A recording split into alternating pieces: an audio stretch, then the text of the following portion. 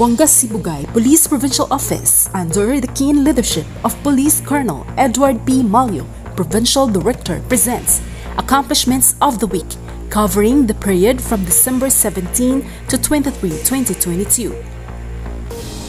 Operational accomplishments two implementations of search warrant for violation of RA 9165 that resulted to the arrest of six individuals and confiscation of 12.75 grams of suspected shabu with a standard drug price of 86,600 pesos.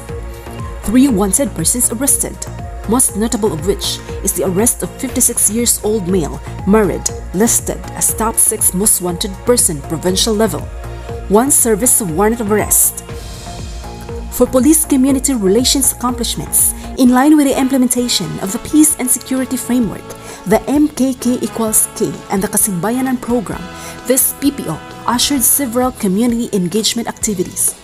Police Colonel Edward P. Malio, Provincial Director, attended the Barangay Development and Assistance and Provincial launching of PNP's Kasimbayanan and Moral Recovery Program Summit held at the provincial capital Pudyum Ipil, Zamboanga, Sibugay Province with the theme United Sibugaynon Living a Consecrated Life with God attended and witnessed the turnover of two units of Mega Transit Rice and Cornmeal donated by Dr. Dulce Ann K. Hofer, Provincial Governor, to the Alsa Masa Barangay Tampilisan and End Local Communist Armed Conflict Beneficiary at Kabasalan, Zamboanga, Sibugay, in line with continuous efforts of the provincial government and implementation of EO 70 to attain inclusive and sustainable peace and order in the province attended the graduation ceremony of 73 persons who use drugs of Balay Silangan Reformation Program, held at Dampa Poblacion, Malangas, Zamboanga, Sibugay.